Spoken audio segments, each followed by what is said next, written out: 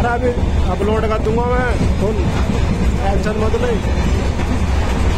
ये भाई